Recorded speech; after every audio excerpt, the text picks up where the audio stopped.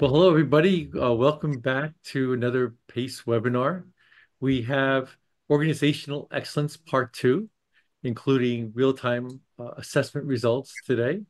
Uh, it's, it's my great pleasure to have Dawn Ringrose uh, back leading the discussion. And she's the principal of Organizational uh, Excellence Specialist. So it's, it's great to have someone who's so well-versed in this field to uh, continue our discussion of organizational ex excellence is something we're certainly uh, very interested in here at PACE. Uh, and without further ado, Dawn, please take it away. Thank you very much, Raef. Um, pleased to be here once again. Last session, we talked about organizational excellence and took a look at the global results on a very unique uh, research study that we've been doing on the current state of organizational excellence by size, industry, sector, and region of the world. And since then, we've done this uh, special research study with, uh, with PACE members to try to take a look at real time results. And so, this is what I'm going to talk about today. So, I'll just work here to share my screen.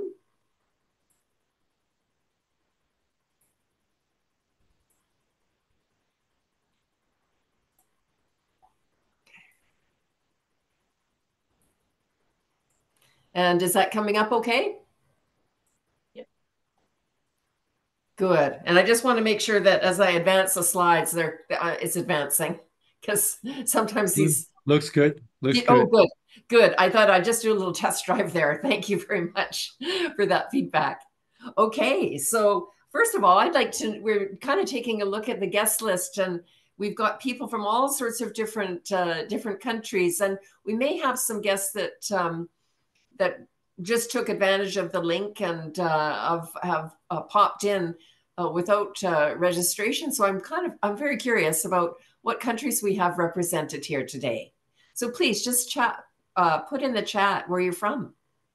Myself, I'm I'm on Vancouver Island on the west coast of of Canada, and it's a lovely day here. We've got lots of greenery and warm temperatures. It's a time of year where we're busy planting our gardens. Maybe I'll move I'll move on to the, the presentation. We're gonna today take a look at this integrated excellence model that we've been using to do research and the automated assessment tool that we have. Uh, give you a little bit of background on that. And then we're going to sit back and appreciate the real-time results uh, and, uh, and, and just have a good discussion about them. Uh, these are different when you do aggregate results versus an individual organization results, but it gives you a general feel about um, how we interpret the results and and the what next uh, sort of actions that uh, organizations can take. We're also going to talk about how these results can be leveraged by the PACE members, and uh, just talk very briefly about how improving organizational performance can contribute to your local economy, trade, and resident quality of life. So it's a it's a pretty important topic, and like to open it up to questions that people have, of course, and any discussion about the results uh, at uh, as we go through or at the end, so that uh, you get all your questions answered. So first of all, we'll talk about the excellence model and the assessment tool that has been been used for the study. And uh, I want to just say a few words about excellence models. You know, they've been around, first developed back in the late 80s, early 90s, and you might have heard about EFQM, Baldrige, the Canadian model, the Australian model. And those were the first models to came, come on the scene, and they were based on research done with high performing organizations. And what characteristics did they have in common? And these characteristics were defined. And these models were then available for organizations to consider using uh, to make sure that they had these best management practices in place. And what we found over the decades is that when organizations implement these best management practices that are common to high performing organizations, they, they develop a culture that's really committed to excellence, where the employees are always asking, What are we doing now and how can we do it better? And uh, the organization is working towards achieving exceptional results. You know, they've got a balanced system of measurement, and those exceptional results are things like good governance, um, you know, leader trust in leadership, delighted customers, engaged employees, um, and so on. So it's a it's a, formula. I like to call it the formula for success because it is uh, tried and true, and there's a lot of great research studies that have been done that uh, validate uh, the return on investment. Here's the organizational excellence framework. You know, back in about 2010, I had been doing work in this area since um, 1990, appreciating all the frameworks and uh, and the research that had been done.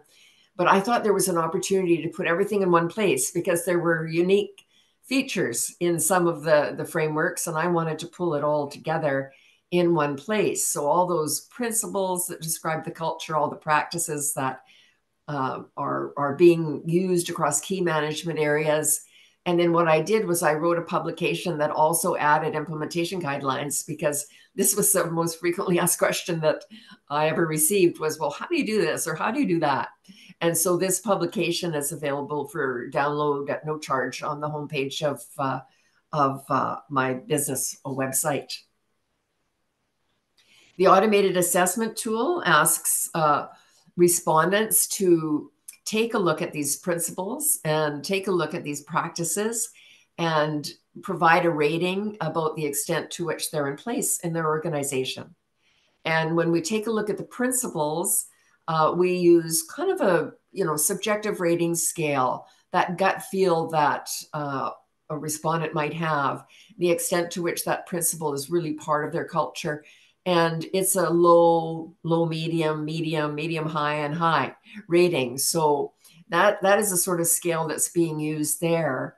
But on the practices across the key management areas it's a much more objective scale and respondents are considering um, the extent to which this practice uh, they're using a good approach with regards to this practice um, the extent to which it's deployed across the organization. Are they getting good results do they have a continuous improvement mindset you know? And and so they're taking uh, you know a, a much different look at that uh, each practice and the extent to which it's in place in the organization. And uh, we take a look at the the scale there is uh, indicates whether the organization is just beginning off to a good start doing well or, or high performance. And uh, we'll take a, a look at the results uh, from that perspective. So the real-time assessment results, this is as exciting. It's always exciting for me to do this and take a look at, at how groups are doing. Um, in this particular instance, we worked really hard to get some respondents in, but we only had 10 organizations uh, represented. Uh, and but that's okay. It's just that I caution as we look at the results that this is not a statistically significant sample. And so please do keep that in, in mind.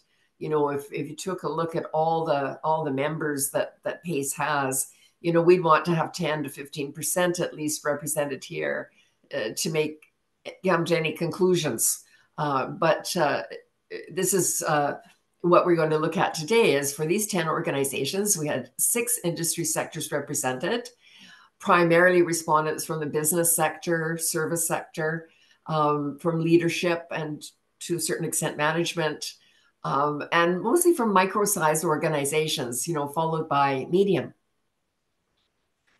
And uh, the sectors that were, if we take a look at specific industry sector, we see the sectors that are represented here, and we see that, uh, you know, most of the respondents from were from the professional, scientific, and technical sector and from different countries. So this is lovely to take a look at at the re, kind of the respondents from this perspective too. And most of the respondents are from uh, India and the United States. So the full assessment and the aggregate ratings on the full assessment, it tells us the degree to which the culture is committed to excellence in the organization and the degree to which the best management practices have been deployed, basically. And if we start with the principles, there's nine principles that describe the culture that's committed to excellence. And I might say that, um, you know, as we take a look at the aggregate results, please keep in mind that really high performing organizations are, are they've got ratings in in the principles of 7.5 and above. Uh, and um, and similarly, as we take a look at the practices, you know those ratings are are in a similar um, you know part of the rating scale. Uh, and a lot of uh, organizations that earn national excellence awards are are coming in at you know six or above. So that just gives you an idea of the scale. Um, but here's the the results on the principles was very interesting. Um, the scores were really quite high, and overall average on the on the principles was 5.8 and we see the highest rating on leadership involvement and the lowest on societal commitment uh, which was interesting usually on societal commitment of course we think the nonprofit sector or the government sector rates you know pretty high on that a particular item but these respondents are mostly from business and so that's something that organizations might want to take a look at in, in terms of how they they might um, perform a, a, a, little bit better.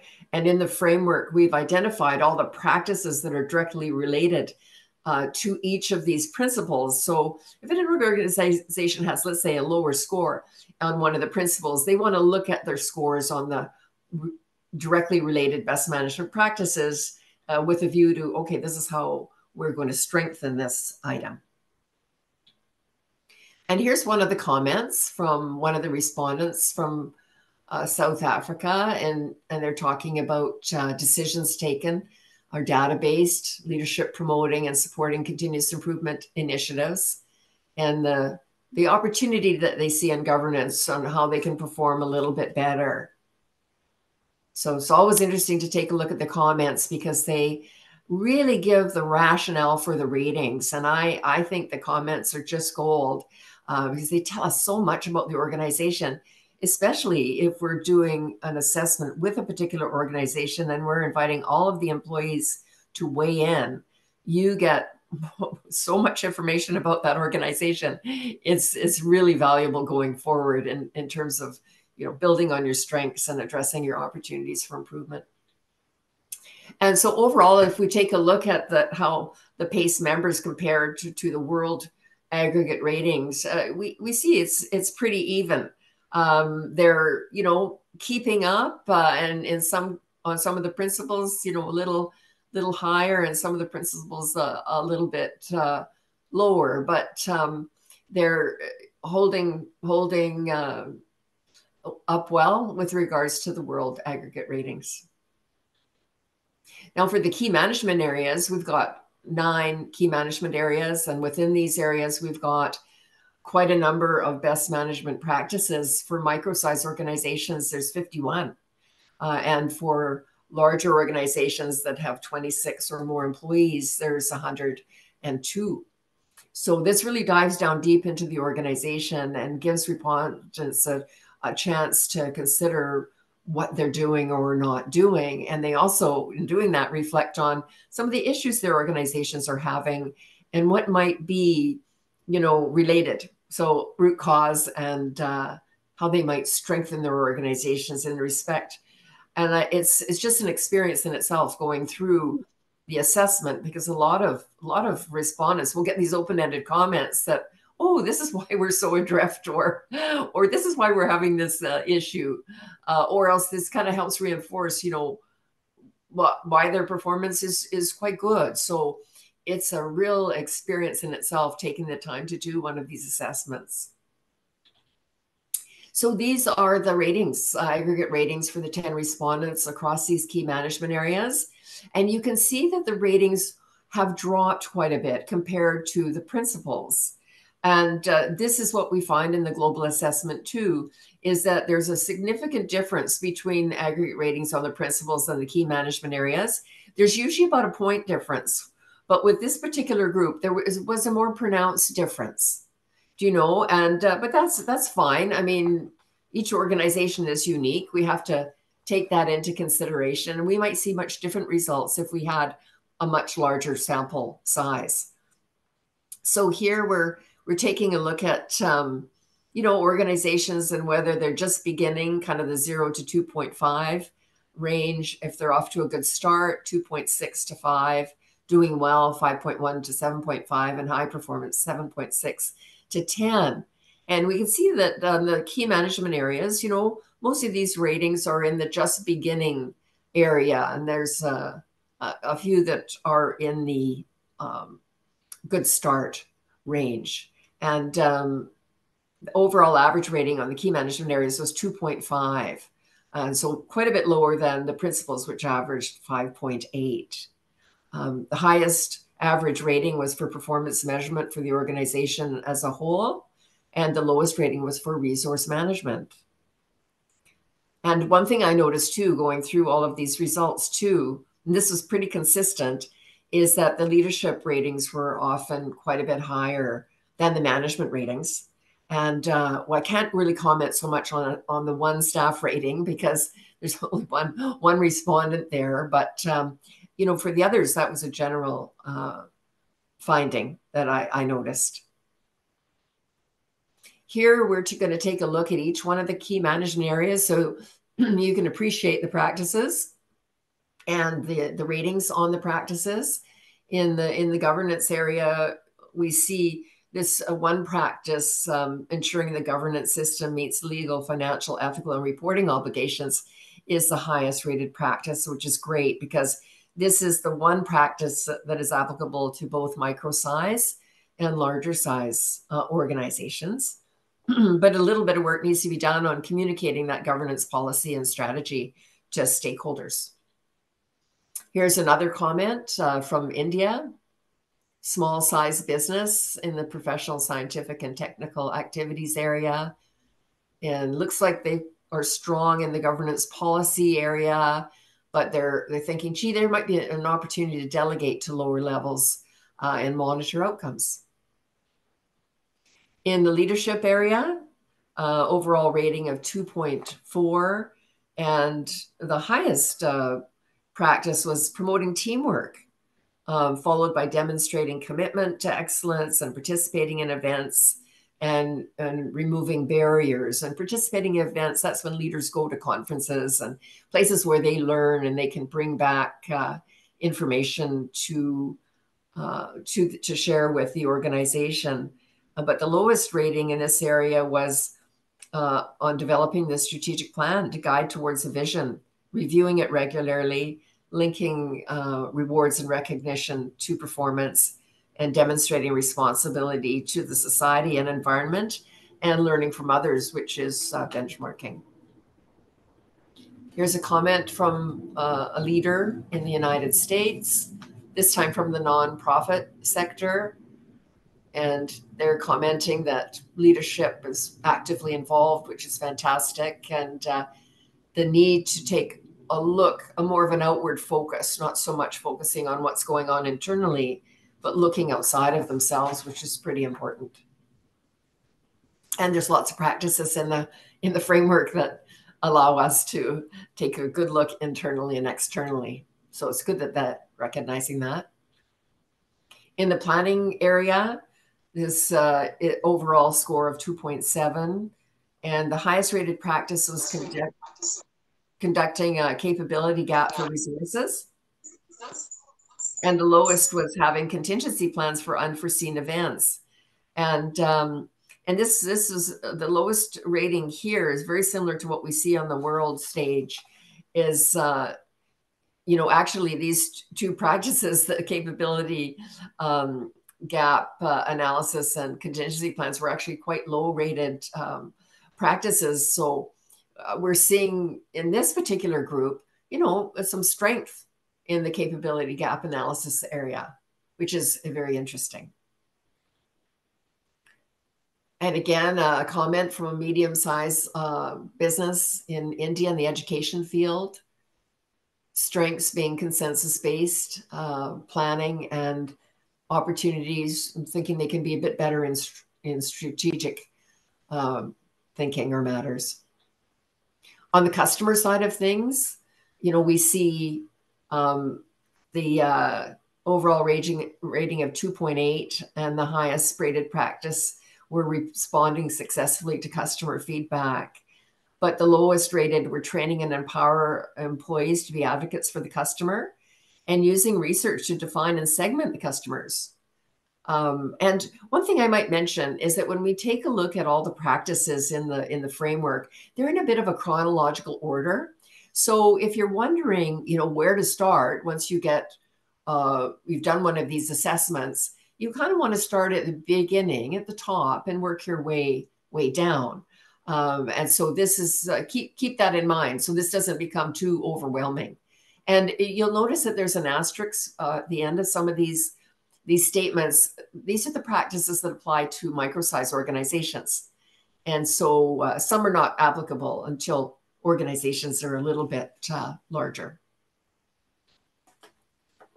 Here's a memorable comment from the United States, from the nonprofit sector having hands-on experience with customers, and, but there's an opportunity to speed up response and action when they receive uh, feedback from other customers. Now, on the employees side, uh, this is a, an area that had an overall average rating of 2.3, and the highest rated practices were encouraging employees to be innovative, rewarding and recognizing their performance, and recruiting and selecting employees for mutual success but the lowest rated were determining training needs. So, you know, this is so important that people get training just in time for the work they're doing and training for the work they're going to be doing in the in the future so they can be very valuable uh, to the organization and they can progress through their career. Here's a comment from India, from a leader and from a small size organization great to see they've got this people first approach and the opportunity, of course, to encourage this growth mindset amongst the employees. And I must say, when an organization goes uh, about implementing an excellence model, they automatically develop this growth mindset amongst the employees. Um, it's uh, it's something that really you know transpires over over time and strengthens uh, because there's so many practices that lend themselves well to developing this. Here's the work processes side of things. Overall average rating of 2.5. And the highest rated practices were designing and documenting the key processes, which we see right at the top there, and also communicating changes to process to the people that touch that process. And the lowest rated was using external data to compare performance, which is benchmarking. And a comment um, from the United States from a micro size organization in the financial and insurance sector that they've experienced in in this area and they're they're prioritizing you know certain aspects of uh, of, of work processes on the suppliers and partners uh, end of things an overall rating of three and the highest rated practices were developing win-win arrangements with suppliers and partners and sharing information that links to plans. And, and the lowest rated was involving those suppliers and partners in the development of social and environmental standards. And the comment, again, from a small sized business uh, in India, how they're really collaborating with their vendors and, and the opportunity that they see is to move towards more sustainable business practices.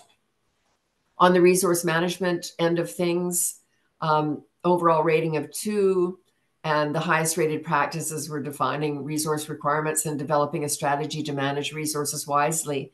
Whereas the lowest was uh, minimizing the adverse impact of the products and services on the community, which is um, pretty important these days when you when you think about the consciousness uh, that there is towards you know society, the uh, environment, and and so forth. Uh, so that that's something that really uh, jumped out. And a comment from the resource management uh, area from the United States, a micro size uh, business where they have the skills and they're prioritizing this particular area. As we look at continuous improvement, and this is where respondents take a step back and reflect on how they're doing in the key management areas. And they think about where they want to put some effort at strengthening a particular area. And every organization is different. You know normally we find when we do assessments that an organization usually has two areas to work on where practices are a little lower and they need to roll up their sleeves and do some work. And so they work on one of those areas in year one, another one of those areas in year two. And so in this um, in this particular uh, situation that we've got here, um, highest rating area was planning, uh, but the lowest rated area was governance. So an indication to do some work uh, in that area. And when we take a look at the way performance is being measured in each of these key management areas, um, we see a higher rating, uh, 2.8, which indicates that organizations are using, you know, somewhat of a balanced system of measurement. And the highest uh, rated area was employee measures, and the lowest rated area was leadership measures, which is very interesting. Um, especially when you think uh, about um, leadership giving high, higher ratings overall compared to management. Uh, and yet they're not necessarily measuring how leadership is doing. So uh, that, that kind of jumped out at me. And finally, these are the performance measures that we use for the organization as a, as a whole. And it had an even higher rating at 3.1 on average.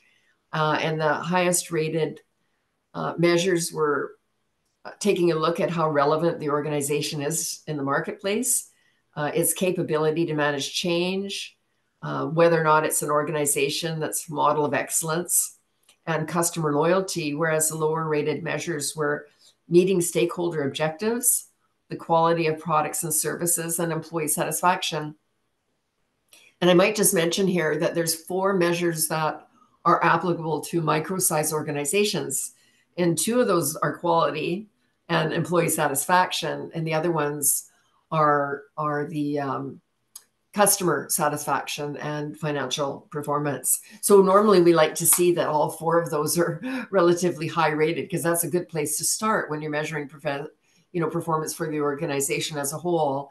Uh, and larger organizations, of course, they they maybe add a few more measures on as as time goes goes on. So these are these are indeed interesting results. But again, we have to think about the fact there's only 10 respondents here. So some co a comment with regards to continuous improvement performance measurement in India from a medium-sized organization and education. They're talking about the good feedback system that they have and the, the opportunity is to you know pursue more initiatives, improvement initiatives.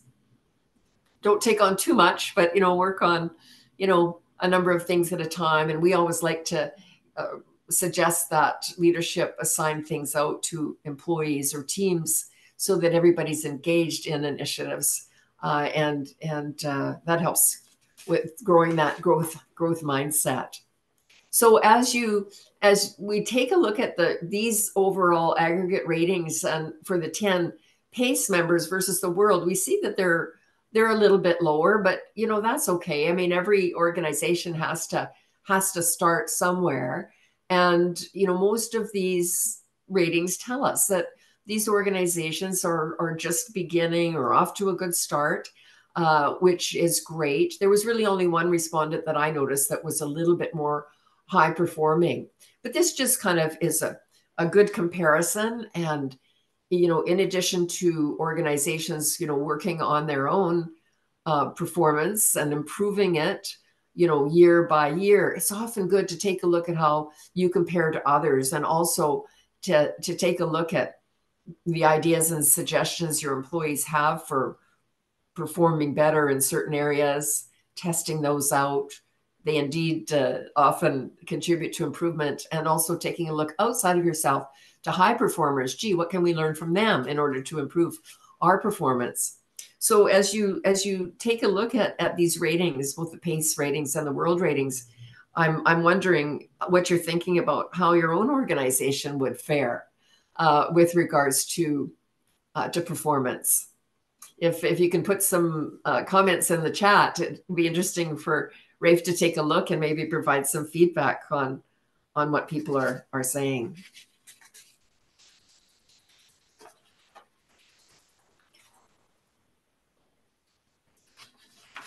and if I, I'll just, I'll just keep going ahead and feel free to interrupt me, Raef, if you, if you kind of get a sense of what people are are saying in the in the chat. Absolutely. Um, okay, good. So everyone feel free to, you know, enter your comments, thoughts, Yeah. and we'll, I'll share them with Dawn. Yeah.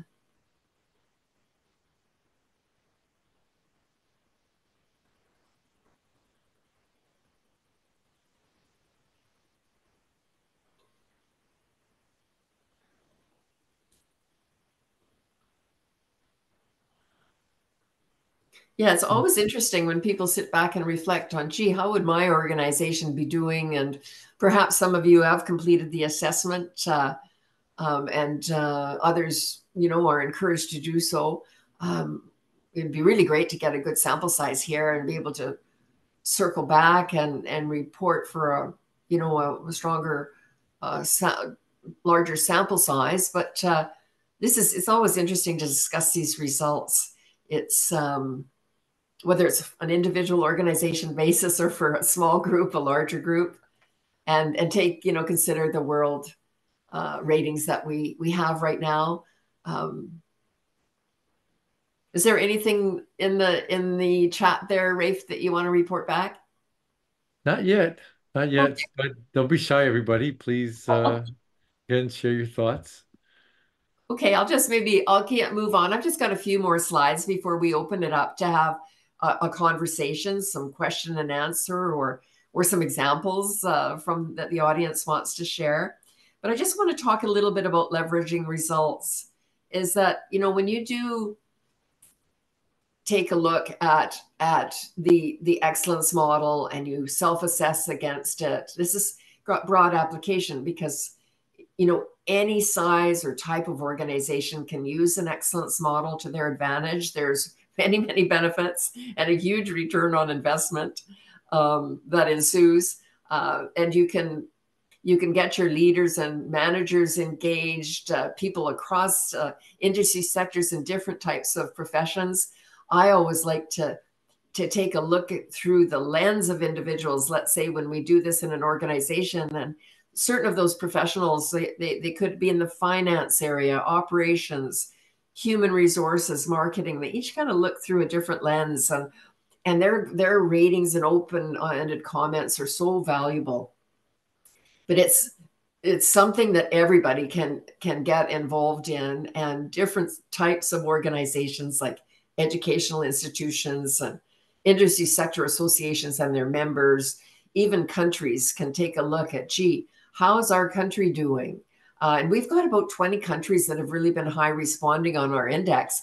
And it really gives a view to what's going well and what needs to improve. And this informs economic development efforts with industry sector associations. It informs the kind of training programs they might want to provide to help their members perform better and address issues that are keeping them up at night.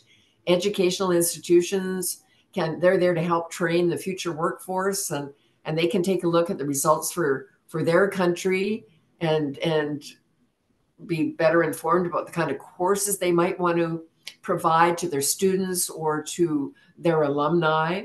Uh, and and same with you know organizations leaders and managers. I mean this sort of thing provides a really great leadership development program for people that want to make their way up the ladder to know more about what's common to high performing organizations and and how to implement it because as they rise up the ladder they're in charge of uh, helping to do that and to achieve good results. So huge application here.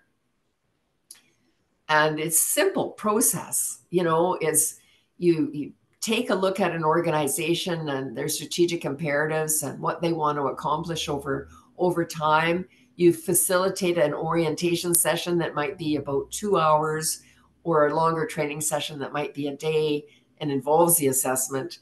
Um, but this is just to orient people to the assessment so they know how best to f- fill it out. they know it's confidential.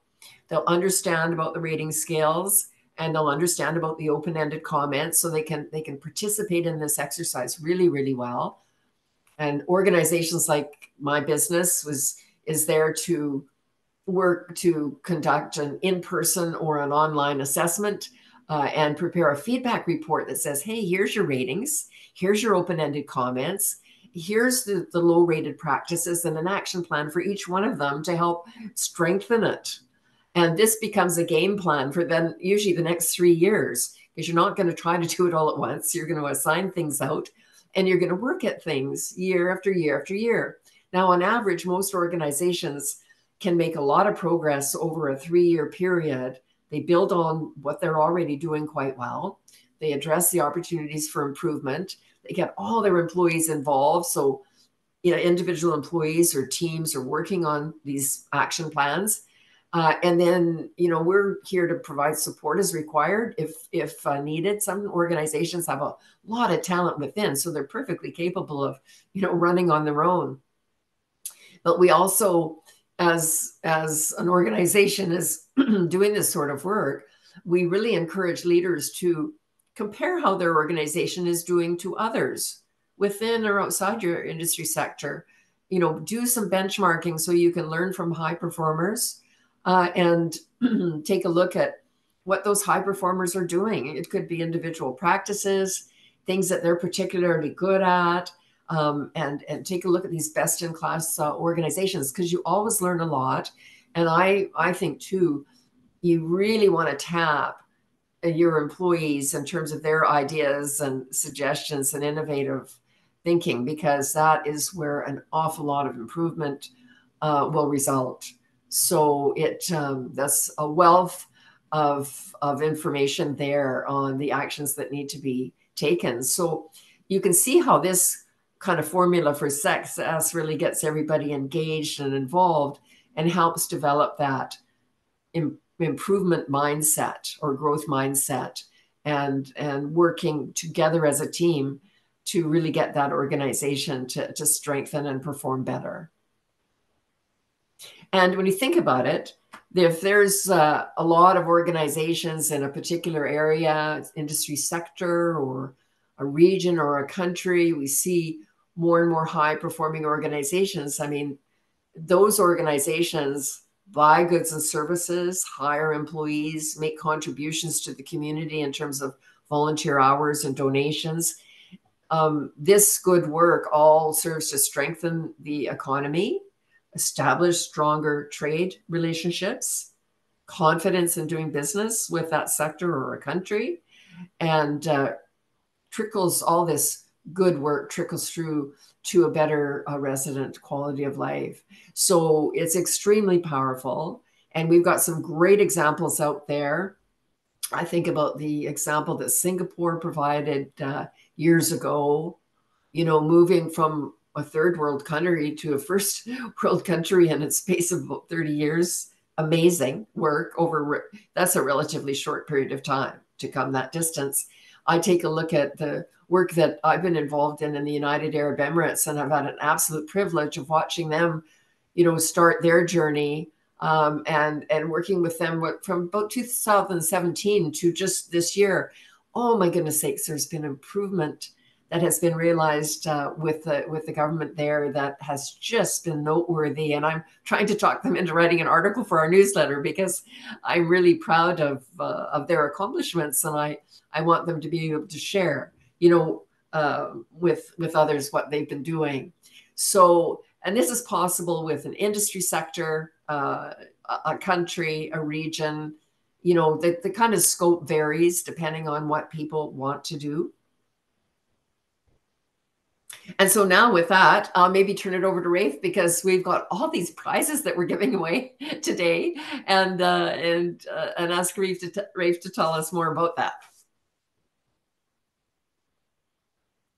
Sure. So we gave away, we're giving away 10 uh, registrations to uh, PACE's uh, annual conference that is on June 20th, and we have selected the the winners. We will be in touch with them very shortly to notify those who, who have won. And thanks to those who participated in in the uh, uh, in, the survey uh, and help us uh, get these results. Uh, and Dawn, was there something else? Yes, I, I wanted to pitch in too and offer uh, a prize for one of the respondents and just drawn at, at random. Uh, and so my my prize is going to be spending an hour with them to discuss their confidential assessment results and just having a good conversation about what's going well, what needs to improve, um, how to go about that, uh, and uh, and just answer any questions that they've got. You know, because there's always a lots of questions about uh, where do we go from here. So I'll be sharing with them a short uh, feedback report that that provides a, a good visual of of what's going well, what needs to improve, and then and then talk about you know working towards strengthening the organization. So pleased to pleased to do that. That's that's wonderful. It's a a win-win, I think, for everyone who has participated in this survey and uh, in, uh, this, in this webinar. So we do have a question for you. Okay, I'm going to uh, stop sharing my screen now so I can I can open it up here. Okay, and it's how can we guarantee successful benchmarking? Something that goes to the heart of this whole methodology.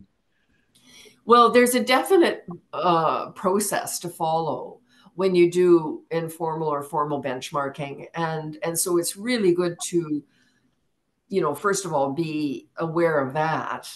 Um, we have a you know an individual on our team, Dale Weeks, who is a real global benchmarking expert, and he's done a lot of that sort of work in the high performing organizations that he's been employed with, including Xerox, where that first the father of benchmarking worked and created benchmarking in the first place. So that was many, you know, decades ago now.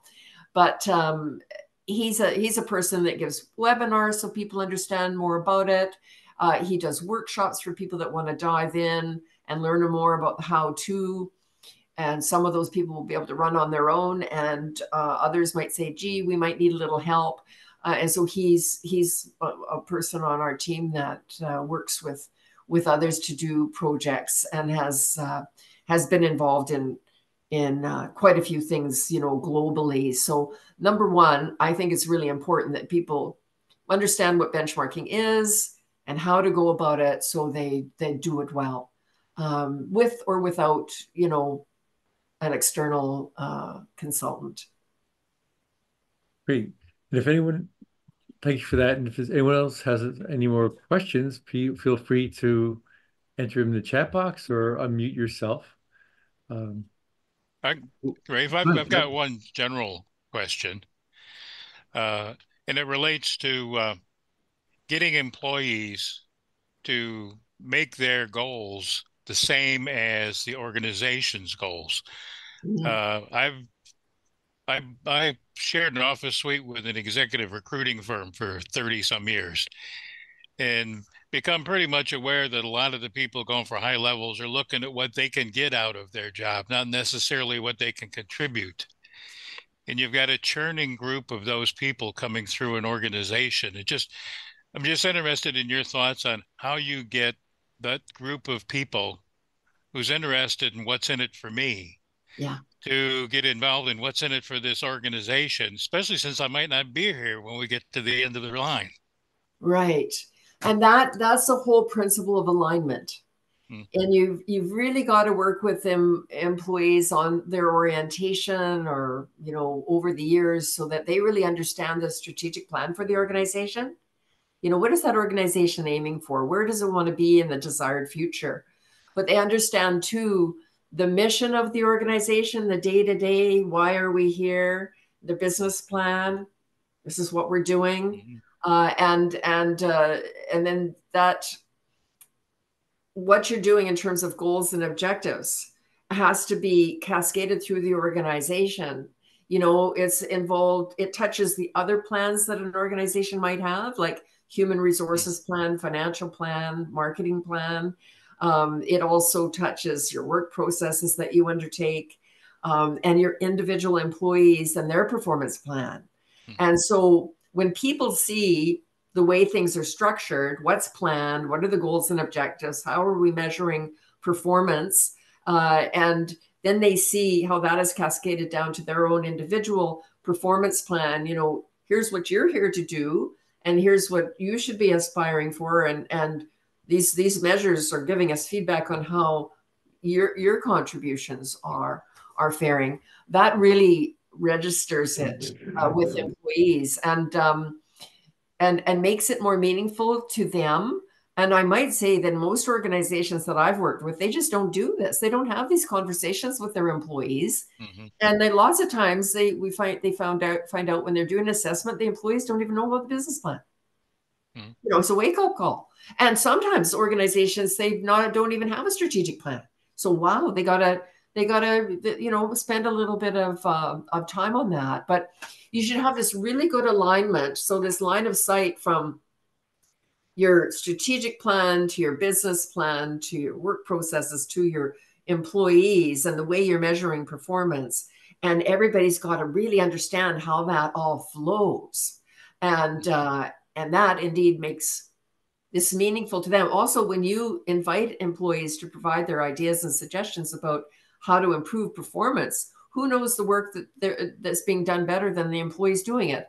And so when they're invited to provide their ideas and suggestions and see that they indeed contribute to improvement well that's pretty motivating too right? Mm-hmm. and organizations if they're you know inviting uh, innovative uh, uh, ideas from their employees too it's another way to engage people people get pretty excited uh, about contributing to the organization. And when you get them involved in these action plans, the things that need to be done, there's such pride in the work that they do. And I, I've seen it um, when we do this sort of thing and things are assigned out to leaders, managers, staff, uh, people. Everybody does really great work, and they get they make some progress, and they're celebrated uh, for it.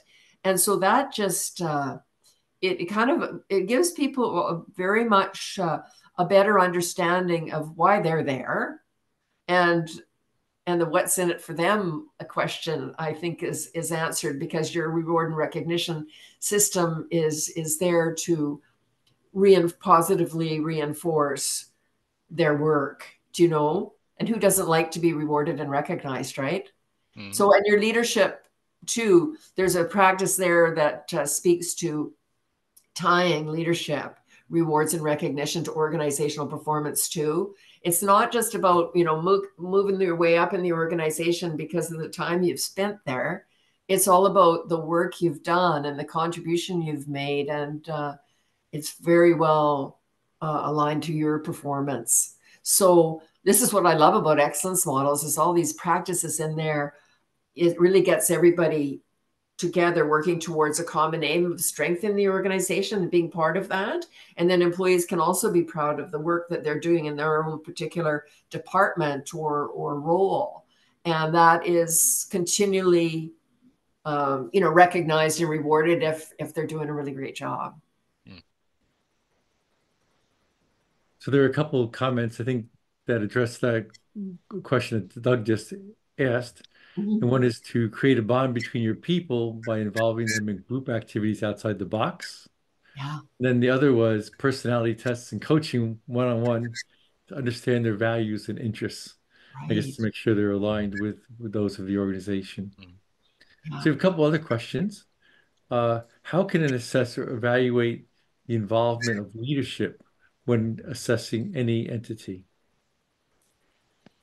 Well, in the um, as you as you take a look at uh, your improvement initiatives, you just take a look at where leadership is involved, and uh, leadership is also you know really responsible for making it possible um, for these action plans to be assigned out, for people to meet on a regular basis to take a look at progress. So and they're and they're giving employees a little bit of time to do all of this, to work on their action plans, to be a part of these group meetings. Um, so that those are just some examples uh, along those lines of of leadership involvement. And I think I referred to it uh, earlier about uh, how important it is for leadership to be developing themselves and bringing that knowledge back uh, to the organization to help build skill with employees and uh, and learning from others, going out and speaking about the organization to to others um, in the hopes of spreading goodwill, you know, and learning from that organization. It's uh, an example, a good example of that was uh, Delta Hotels and Resorts in Canada years ago, they used to give wonderful presentation to the people in the in the hospitality and tourism sector and they would talk about how they became a high performing organization and the things that they were doing and why they got more applications for employment than anyone else. And they had top results compared to everyone else in the industry sector. And everyone else was aspiring to be kind of be just like them. And instead of being competitive what they would do is they would come out and speak to industry about their journey to excellence and how they were able to you know aspire to such high performance. And um, what i loved about their presentations it wasn't just the general manager standing up there. He had people from all departments from housekeeping from front desk from restaurant and so forth. They're all up there giving their part of the presentation talking about that organization. And i just thought that was very powerful. And yes you could have just one spokesperson but when you see the whole, you know, representatives from across different departments getting up there and speaking to their experience, that's pretty powerful. And their their view about speaking to the industry about what they're doing, yes, they want to talk, tell their story, but it's a way of helping buoy up the whole industry. Please come join us. Let's become more high performing. Let's become a standout industry, uh, not only to to residents but visitors from afar right? And so it's it's got uh, that aspect to it of building strength in a particular sector and the willingness to go out and help others. Great. We have time for one last question and this i think this last question is a great one to end it on and it is what are some common challenges or pitfalls that organizations face when pursuing organizational excellence and how do you recommend overcoming them? Okay, well, that's a good question. the pitfalls, you know, I think first of all, it starts with leadership. You have to have a leader that is committed to this and and wanting to take it on and invite his the employees to be be part of the journey. So you have to have a real commitment from leadership and that leader has to, or the leadership team has to have a, a growth mindset and want to do this and convey that to the employees, invite them on the journey. Um, so that's where sometimes we, there will be uh, uh, challenges because leadership changes. You know, let's say a new CEO comes into the organization, they may not think about things the same way, and so that that can be a challenge where the this quest for excellence uh, it, it isn't as high a priority because maybe that leader wants to work on other things. But on the flip side of that, leaders can leave a great legacy because you know what? They want to be able to lead well. Um, they want to strengthen the organization. They might want to communicate back to a board of directors. Um, they want to be seen as a, a model, a good role, role model in their community or, or region. Uh, and there's all sorts of wonderful legacies that leaders can can leave as a result of doing this sort of work. And employees, they want leaders that will chart the course and show where they're going and how they're going to get there. And they want to be part of, of the journey. So that leadership component is really, really important. The other thing is anything like this uh, is is a, a somewhat of a change initiative, you know, and you've always got in in organizations uh, a third of the people are gung ho and want to go forward and be involved in something like this. A third sit on the fence and kind of wait and see attitude, and a third kind of dig your their heels in because they don't want to change. And so that can be you know, seem like a bit of a daunting challenge. But what we know works is you concentrate your effort on those that want to go forward and let those that are sitting on the fence eventually join. And you don't spend a, a lot of time on the group that's putting digging their heels in. Those people are likely going to leave the organization, and and you want to use your resources wisely uh, in terms of uh, of you know moving the the organization in the in the desirable direction and you got to have the right people on the bus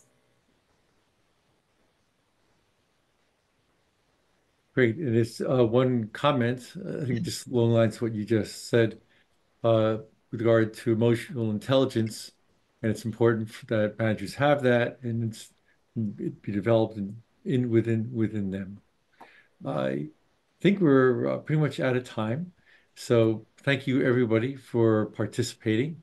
Uh, I'm sure Dawn would love you to take the survey if you haven't already, yeah. uh, and also uh, reach out to her if you have additional questions or want to be involved in her, her efforts. And then I want to remind everyone to check out PACE's annual conference. It's again June 20th. There's more information regarding it uh, on our website. And uh, it's we have amazing speakers talking amazing topics, and uh, it's well worth everyone's time to attend. So thank you, Dawn. It's been a great pleasure having you back again. Uh, and everyone else, have a great day. Thank you.